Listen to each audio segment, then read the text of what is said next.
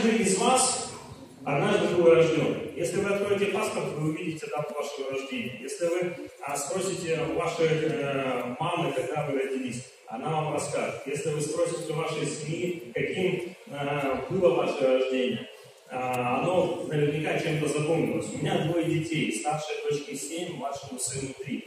Я помню первые роды, ну, в смысле, дочки роды, когда были, и помню а, роды а, своего сына. Ну, не я рожал, но я их очень сильно помню. А, вот, а, и я так понял, что оно запомнится очень-очень надолго.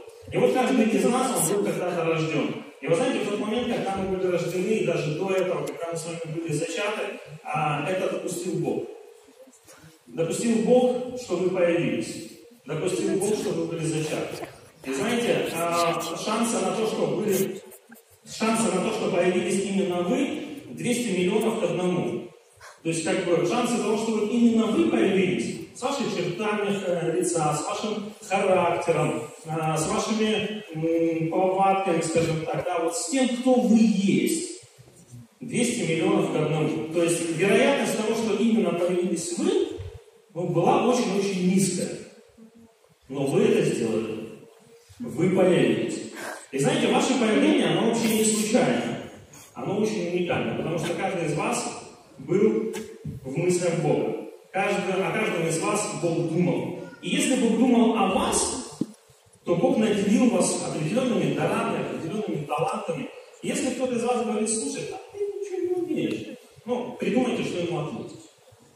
Потому что у вас есть очень много. У вас есть, есть то, что, чем наделил вас Бог. У вас есть те дары, те способности, которые есть непосредственно только у вас. И когда мы говорим о лидерстве, и о дохлых лошадях в лидерстве, то вот у вас, как у людей, о которых мечтал Бог, о людях, которые могут изменить очень много, у вас есть то, к чему вы не равнодушны. У вас есть то, что зажигает ваше сердце. У вас есть то, к чему вы не можете относиться равнодушно. Есть то, что зажигает ваше сердце. Есть то, что вдохновляет вас. Есть то, что не позволяет вам сидеть на скамейке, и вы встаете.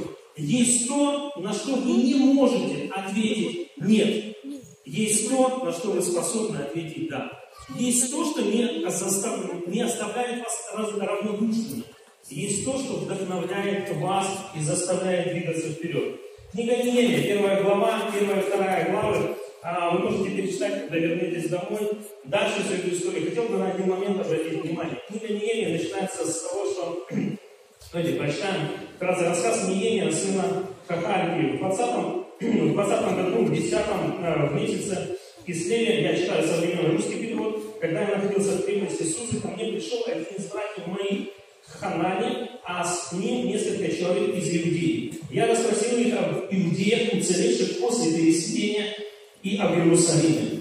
И они рассказали мне, рассказали. Такую картину Неемия они нарисовали. Что с Иерусалимом, что с теми, кто после переселения. Вот он рассказывает. Те, кто пережил переселение и вернулся на родину без вызывая презрение соседних народов. Стены Иерусалима разрушены, а городские ворота сожжены дотла. Какая картина? Прекрасная картина или нет? Очень. Нет, картина вообще не вдохновляющая, да? Вообще не вдохновляющая. И вот он рассказывает это Неемию. И вот это Неемию поражает. Он молится. Вы в первой главе можете прочитать его молитву.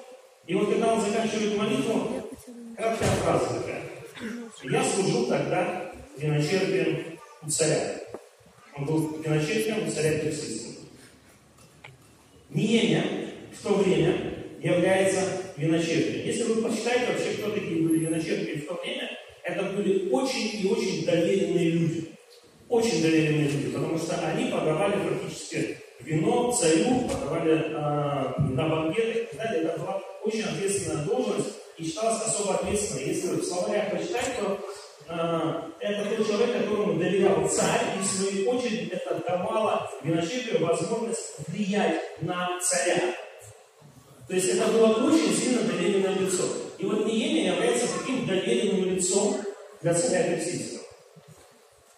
Но ну, он слышит, что происходит с его родиной, грубо говоря, да? И вот в нем что-то происходит. Фактически Ниемин в этот момент у него вообще все в шоколаде. Ну, все в шоколаде. Доверенное лицо у царя. Если ты доверенное лицо у царя, у тебя есть все, у тебя проблем нет. Ты обеспечен.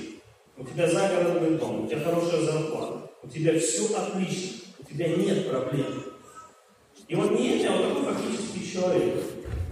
Но с ним происходят интересные вещи. Вторая глава начинается со следующего. В месяце Нисане, в 20-й э, год правления царя Артаксеркса, когда принесли вино, я отнес чашу царю и подал ему.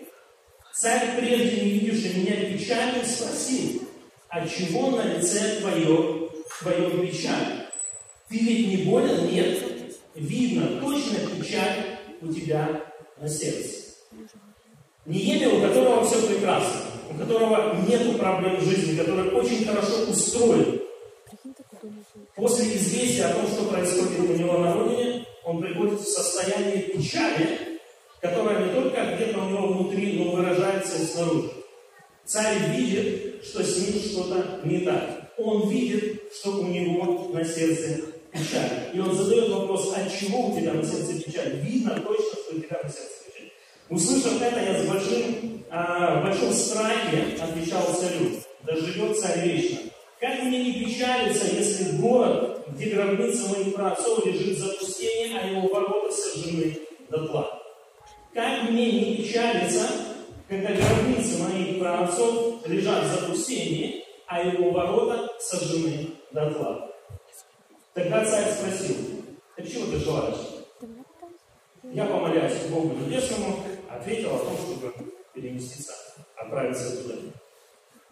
Неемия, у которого было все прекрасно, слышит о положении дел на родине, он приходит в состояние печали, и он перемещается, оставляет фактически свое самое хорошее место и отправляется туда для того, чтобы там возводить стены и восстанавливать город. У Неемии в этот момент зажегся огонь внутри. Он не был равнодушен, он не смог остаться равнодушным к тому положению вещей, в котором находилась его родина. Это зажгло его сердце. Он не смог смириться и сказать, ну окей, хорошо, все нормально. Ему пришли, рассказали, ну нормально, такова жизнь, что поделаешь, да? И он остался жить так, как он жил дальше. Нет, он поступает абсолютно по-другому. Это зажигает его сердце. Вот эта вот проблема, которая произошла, зажигает его сердце. Ребят, что зажигает ваше сердце? Что зажигает твое сердце? За, зажигать сердце может нужда. Зажигать сердце может чужая боль. Возможно, ты неравнодушен к чужой боли. И ты способен реагировать на чужую боль и помогать. Возможно, тебя зажигает твое сердце нищета, когда ты видишь людей, которые нуждаются больше, чем ты.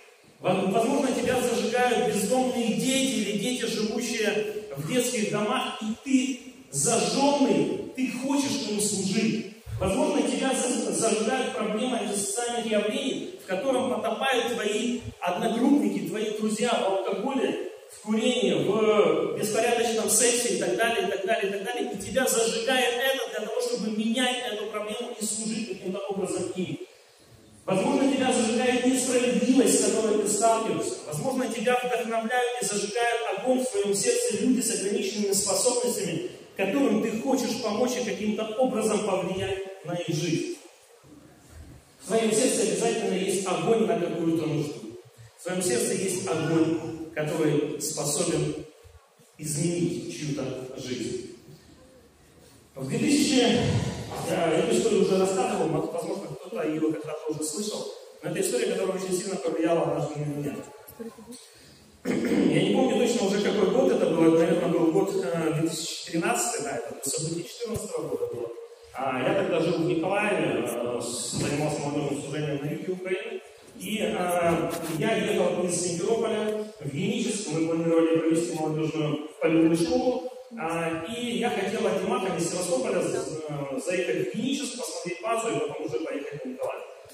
Э, сокращая историю, у меня есть друг, который живет э, в Симферополе, Я его попросил, можешь ты меня подбросить в геническом? Он говорит, окей, хорошо, я подброшу.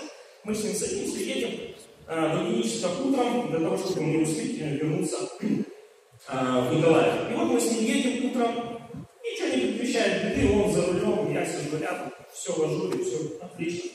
Мы едем. Мы подъезжаем с Джанкоя, где-то остается там последнее село, перед Джанкоем. И смотрю, он на обочину встает и тормозит на обочине. Я говорю, а что ты тормозишь? Он говорит, сейчас, подожди, две минуты. Подожди, две минуты. Я говорю, ну, две минуты это две минуты. Сижу, он вышел из машины, куда-то пошел. Возвращается, садится, разворачивается в обратную сторону. Я говорю, так подожди, нам туда. Он говорит, сейчас, подожди, две минуты. Подожди, две минуты. Смотрим опять, смотрю, опять припарковывается на обочине, куда-то уходит. Я смотрю, куда он идет, точнее, он уже возвращается, и он возвращается не один, а возвращается с человеком. Реально по всему видно, что это человек без определенного места жительства. Он открывает дверь, и как вы думаете, что он делает? Он садит этого человека на сиденье. Ну, там реально по человеку не было понятно, что это мужчина или женщина. И два пакета. А закрывает дверь и садится. И говорит Жека, ты представь, этот человек собрался до Симферополя идти пешком. Я говорю, ну печально как бы. Понимаю, мы в генический едем. Он говорит, слушай, ну давай поможем. Ну, мы, мы должны помочь. Это было утверждение, мы должны помочь. Я говорю, как помочь? У нас времени не так много, надо, я не знаю, ну давай. В общем, мы разворачиваемся, едем в Джанкой, заезжаем в Джанкой, пытаемся каким-то образом оформить, узнали, что это женщина, каким-то образом отправить ее. В общем, у нас не получается ее отправить ни на автобусе, ни на поезде, а автобусов не было, поездов э, тоже, я помню, вроде бы не было, и плюс там документы ввели, когда уже надо было документы показывать. В общем, мы ее никак отправить не можем, у меня рождается гениальный моя. Я говорю, Серега, слушай, я не так часто с такими людьми пересекался, но я уверен в одном. Если им нужна твоя помощь, они пойдут на твои условия. Если им нужна помощь, они пойдут на твои условия. Он говорит, ну, да, давай. Я говорю, давай сделаем условия. Вот посадим меня в пункте А и скажем, что если вот, ты через три часа никуда не уйдешь, тебя отвезут в Симферополь. Он говорит, ну давай. В общем, купили бы там хлеба, еще что-то купили. В общем, посадили ее, дали поесть. Я говорю, слушай, вот, вот здесь сидишь, три часа сидишь. Тебя отвозят в Симферополь. На 99% я был уверен, что когда он приедет, здесь никого подавно не будет. Ну вот мне мой опыт говорил так, что ну не будет этого человека, потому что пойдет решать каким-то образом свои вопросы. Поехали по геническому, он меня отвез, возвращается обратно, я уже решил свои вопросы. А, еду в маршрутке на, на Николаев, думаю, позвони. Звоню ему, говорю, привет, ну что, как дела? Он говорит, отлично. Я говорю, ну что, как там, друг? Точнее, ну, подруга. Он говорит, да все прекрасно. Я говорю, в смысле? Он говорит, да как она сидела, так она и сидела. Я говорю, где мы ее оставили, там она и осталась. Я говорю, как? Он говорит, да вот так. Сидела, она сейчас в машине со мной едет. Я говорю, отлично, а дальше что? Он говорит, еще не знаю, сейчас в Симферополь приедем, будем что-то решать. Хорошо? Вечером перезваниваю, он говорю, слушай, ну как у тебя дела? Он говорит, все классно. Я говорю, а что ты с ней сделал? Он говорит, я ее привез в центр, позвонил руководителю отдела тарифа, сказал, слушай, есть клиент, надо помочь. Они пришли, сестры там, ну, там в церкви этот самый был, санузел, душ, в общем, ее отмыли, примыли, одели, приодели, а он говорит, ты ее не узнаешь. Я говорю, шикарно, а дальше что собираешься с ним делать? Он говорит, я еще не понял, у меня есть там одна идея, хочу ее в центр в Днепр отправить. Вот. Ну, посмотрим. Перезванивал ему через несколько дней, говорит, ну что, как там? Говорит, все отлично. Он говорит, правда, как бы денег мы не собирали, там на, на, на автобусе отправили дорого. На поезде, на, на поезде было дешевле, правда, у нее как бы никаких документов с собой нет, а там на поезд надо документы были. Я говорю, ну как, с проводниками договорились, в общем, ее на Днепр отправили, там ее встретили. Она уже в рецепторе, там в Днепре находится. Думаю, шикарно. Я говорю, а по-моему, ну, все как бы у меня не все выполнено. А вот. Проходит где-то месяца в 7 после этого всего дела. Может быть, 8 даже. Перезвон... А, не-не-не, это он, да, это он мне говорил тогда, когда я с ним разговаривал, когда он ее только на а, Днепр отправил. Мы с ним поговорили, и он вот такую фразу в конце говорит. Он говорит, слушай, а знаешь, была одна вещь, о которой не знал ни я, ни ты. Я говорю, какая? Он говорит, оказывается, она беременна. О боже, капец. Я думаю, ну, классно. Проходит где-то месяцев семь. Перезванивает он мне как-то и говорит, слушай, помнишь ту женщину, которую мы подобрали на, основ... на, на, на трассе, которую в рецентр не подобрали? Ты помнишь? Он говорит, знаешь, мне с рецентра отзвонились, контакты еще сохранились, отзвонились с рецентра и сказали, что эта женщина родила девочку. И знаете, я вот это вот слушаю все во всей вот этой истории. Вот мне очень сильные уроки преподал мне. Но знаете, я ловлю и понимаю, что если бы я вот в тот день находился за рулем вместо моего друга, 99,9% я бы не остановился.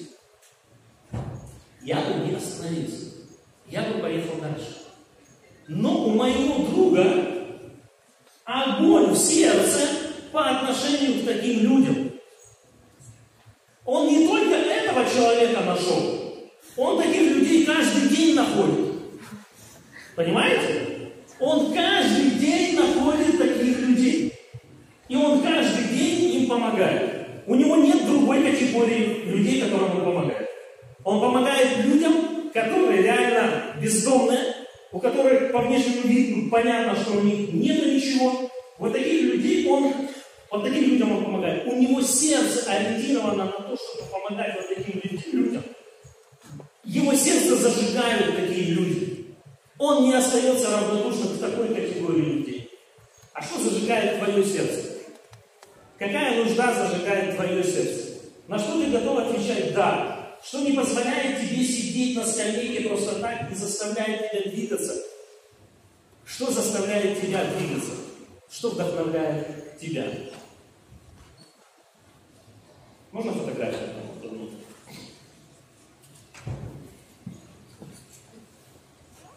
Это память. Ему 14 где-то. Мы с ним познакомились прошлой осенью, которая была. Он сам с Украины. Они находились в Киеве на лечении. У него обнаружили в головном мозге опухоль. А, меня пригласил Сергей Луцкий, руководитель отдела здоровья. Они на него вышли и а, попросили о том, чтобы пастор, Киеве, надо совершить помазать перед очередной операцией, которая происходила. И вот первый раз, когда я с ним увиделся, я приехал вместе с Сергеем для того, чтобы совершить служение или помазание. Мы с ним встретились в детской комнате. Он сидел, мама была рядом с ним. И вот перед тем, как совершить это служение, мы с ним разговаривали. О его жизни, о том, как он живет, что, как, зачем почему. И вот он рассказывал немножко о себе. Рассказывал о том, что он любит церковь, о том, что он любит служить в церкви. Он любит следопытом, он был год назад практически перед этим на слете следопытском, который лучше проходил. И вот эта болячка у него появилась практически весной, его прооперировали весной, вроде бы все нормально, и ровно через полгода у него дало рецидив. И он опять оказался в больнице. И вот он цитировал псалмы, 22-й псалом цитировал, 90-й псалом цитировал, наизусть. Другие псалмы цитировал. Рассказывал. Рассказывал, что его вдохновляет. Церковь его вдохновляет. Потом он сказал такую фразу. Он говорит, когда я вырасту, подрасту, я хочу стать пастором. Я хочу служить, мне это очень нравится, меня это зажигает. Я хочу служить. Совершили служение, служение для помазания, и мы сделали а, через день, если операцию. Операция ничего особого не дала, опухоль продолжала расти. Через время мы сделали, они уже, мы приехали а, в нем, еще братья были, мы еще раз помолились за него, еще раз сделали еде помазание перед очередной операцией, которая у него была. Он был жизнерадостным, он был очень таким, ну, ты на него смотришь, ты не поймешь, что он как бы, у него такие проблемы. Его выдавало только вот то состояние, в котором он находился. После еще очередной операции, там очень долгая вся эта история, его переводят из рака в Киеве. И вот мне звонит его мама, и говорит, слушай, если можешь, приедь там, увидимся там, и там передашь. Я приезжаю в института к нему и э, захожу к нему в палату, с мамой захожу. Он лежит на кровати, под приборами. И когда мы с мамой подошли, он лежал, и э, мама ему говорит, Стас, помнишь Женю? И вот единственное, что он смог не сказать, а показать. Головой так. Да. Помню. Больше он ничего уже не мог сделать. Ничего не смог сделать. Мы с мамой постояли, я постоял очень много. Он уже не мог говорить, он уже фактически не мог двигаться, он был полностью уже на тот момент лежачий. Мы побыли немножко, я посмотрел на него, мы взглядами обменялись, и я ушел. Через два или три дня их перевезли домой, и фактически где-то через полторы недели после того, как они оказались дома, он умер. А, его не смогли спасти. Не смогли. 14 лет назад. Почему я рассказываю эту историю? У него был огонь в сердце. У него было видение, кем он хочет стать. Он хотел стать пастором, он хотел служить Богу. Это его зажигало, и это, это, это зажигало его сердце. Я не знаю почему. И не отвечу на этот вопрос. И никто из нас не ответит на этот вопрос, почему Бог распорядился таким образом. Это вопрос, на который ответит только Бог. Но я знаю, что он не сможет уже реализовать свою мечту. Он не сможет воплотить свое видение будущего в жизнь. И тот огонь, который был внутри него, к сожалению, он не сможет реализовать. В твоей жизни все по-другому. У тебя есть жизнь. У тебя есть день сегодняшний. У тебя есть возможность сформулировать и сформировать свою видение. И у тебя есть сегодня возможность понять, что зажигает твое сердце. У тебя есть время для того, чтобы понять, что зажигает твое сердце. Что заставляет тебя не быть равнодушным? Что заставляет тебя не быть равнодушным? Осознай. Помолись. Почувствуй. Прими. И осуществляй то, что, не заставляет, что заставляет тебя не быть равнодушным. Что заставляет тебя не сидеть на скамейке, а встать и действовать осуществляй то, от чего твое сердце горит. Потому что у тебя сегодня есть